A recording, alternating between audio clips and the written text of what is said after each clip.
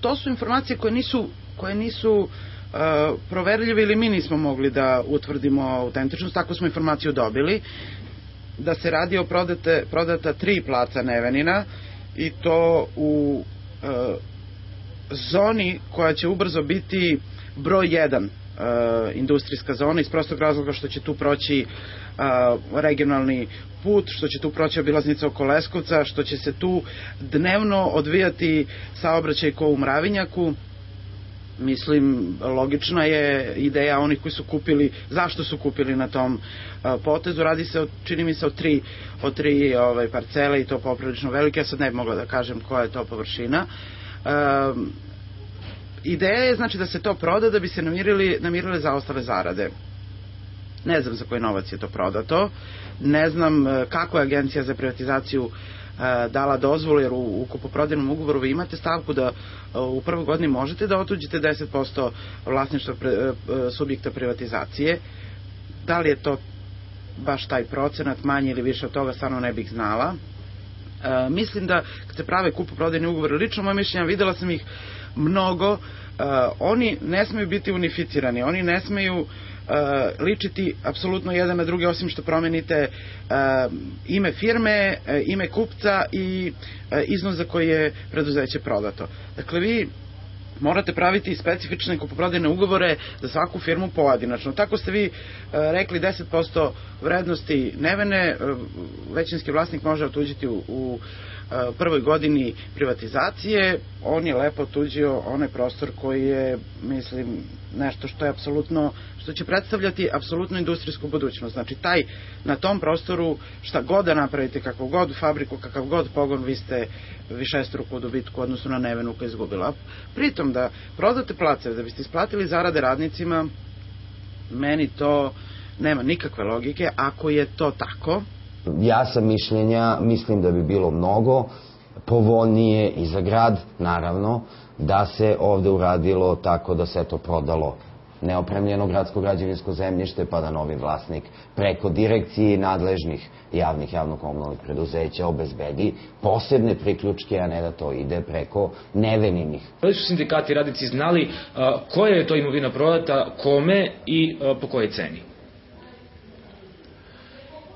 Imovina se prodavala uz, ja mogu reći, slobodno blagoslov agencije za privatizaciju e, i ovaj, prodavalo, tačno se znaju placevi koji su prodati i kojima se to ljudima prodavalo. Međutim, te, te ovaj, pare od, tih, od te prodaje, koliko ja znam, su išli na, na plate mislim da su mogli da dobiju bolju cenu, da su sproveli, oni nisu imali zakonsku obavezu da rade javnu aukciju ili licitaciju za ovo zemljište, jer je to ipak u tom momentu bilo privatno vlasništvo, ali mislim da bi dobili bolju cenu da su na neki način eto, dozvolili neko e, takmičenje što se tiče tih ponuda, e, možda bi dobili veću cenu za ovakvo zemljište. I s druge strane, meni lično se čini da je trebalo ipak pustiti da novi kupci obezbeđuju priključke na gradsku komunalnu infrastrukturu onako kako i treba to da se radi, znači preko nadležnih gradskih institucija. I što je najinteresantnije... Jer, sad izvinjavam se, još jedna stvar, ovako, na ovaj način mi sad dobijamo neke trajne odnose između Nevene i tih vlasnika novih, koji opet se ograđuju, znači ljudi apsolutno nisu krivi, kupili su ono što im je ponuđeno i naravno ispoštovali su sve te ugovore i to treba da kažemo, znači sredstva su uplaćena. Iz tih uplata se jasno vidi da su ta sredstva onda u neveni trošena na zarade radnika, jer tačno prate datume uplata, sa, vezani su za zarade, isplate zarade radnicima, tako da je ovo u tom nekom menadžerskom smislu pogrešno potez bio da se prodajom imovine isplaćuju tekuće zarade radnicima, što umesto da se iz proizvodnje naravno da ti ljudi zarade svoju platu, ovako se prodajom imovine isplaćivala njihova zarada. A kako ste primali platu u tom periodu? Pa primali smo na blagajni isplate su bile 5000 2000, 3000, tako. I to Preko na žiro ruke? računa to nije išlo. Na ruke, u Na koverti. ruke. Molim? Na ruke u koverti, da. Pa bili u koverti ili ovako direktno sa blagajne se isplaćivalo. po mojoj proceni, a podaci će to potvrditi, Nevena je puno izgubila za ove tri godine. U momentu kupovine ona je bila u nekakvoj finansijskoj dubiozi u vrednosti oko 5,5-6 miliona evra, sada je taj dug duplo veći. Dakle, Bugari ne samo da nisu uspeli da anuliraju dug i da vrate da skinu obaveze prema bankama, zaposlenim i tako dalje, nego su čak napravili dug od novih 6 miliona evra, proizvodnju pokrenuli nisu, koliko ja imam informaciju, bar ne u obimu u kom se to očekivalo, nešto od imovine što su rasprodali, a radi se o, o placima velike vrednosti, velike površine, iskoristili su za isplatu zaostalih zarada, bar zvanično, jedan deo je vjerovatno otišao na neku drugu stranu, tako da se Nevena sada nalazi u jednom potpuno potpuno, čorsokaku koji može da ima, ovaj, da kažem, izlaz na drugu stranu, ali to će mnogo, u mnogome zavisiti od države. Iako se špekulisalo u javnosti da je sveukupni dug Nevene oko 12 miliona dinara, poslednji finansijski završni račun pokazao je da Nevena samo prema gradu Leskucu za neplaćene komunalije duguje preko 20 miliona dinara. Mi smo po tom završnom računu uh, uvideli da na 23. februar, na dan 23. februar, Nevena ima obavezu od 21 milion, nešto više od 21 milion dinara prema lokalnoj samoupravi, nekih 15 miliona dinara, to su u pitanju porez na imovinu i ostale komunalne takse koje idu u gradski budžet dok je ostatak sredstava, ostatak duga zapravo prema javnim javno-komunalnim preduzećima, tako da sve to u masi iznosi 21 milion. U principu, s obzirom na te iznose, evidentno je da unazad par godina nisu plaćane obaveze prema gradu i prema gradskim javnim preduzećima, tako da za taj vremenski period se ovaj dug svakako nagomilao do tog iznosa od 21 milion dinara. To nije jedini dug koji postoji, postoji i dug prema radnicima, tačno je zdravstveno da. osiguranje takođe 15 meseci nije A, U ovom momentu 15 ili 16, sve zavisi da se računa i februar i januar ove 2011. godine negde oko 15 meseci je dug prema radnicima, zapravo prema državi, prema Fondu za zdravstveno osiguranje, negde oko 10 miliona dinara je taj iznos koji se duguje za zdravstveno osiguranje radnika Nevene.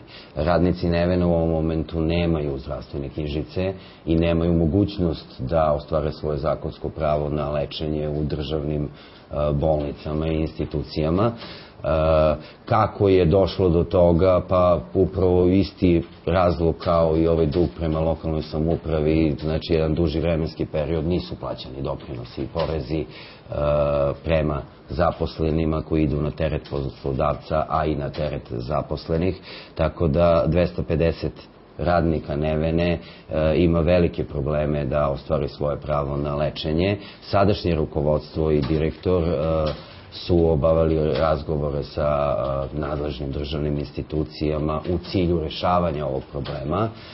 Ono što je kao neki odgovor stigao iz Beograda, iz fonda, jeste da do uplate tih 10 miliona dinara prosto ne postoji mogućnost da se radnicima obezbede ove marke, takozvane markice, to jest da im se omogući da dobiju zdravstvene knjižice.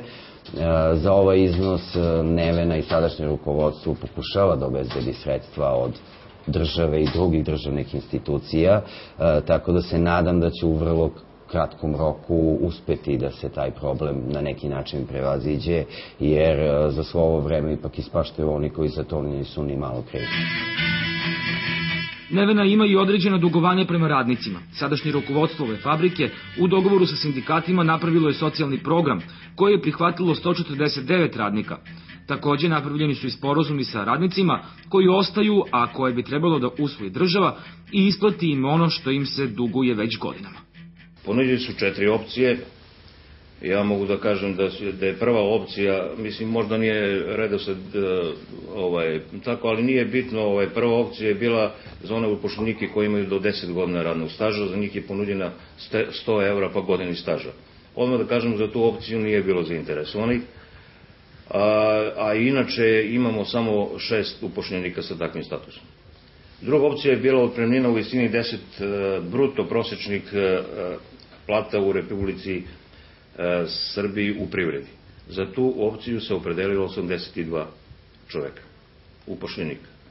Treća opcija je bila za one upošljenike kojima fali do dve godine do punog radnog staža i oni idu na tržište rada do sticanja prava na penziju uz odgovarajuću otpremninu po zakonu o radu. Opredelilo se za tu opciju 10 upošljenika.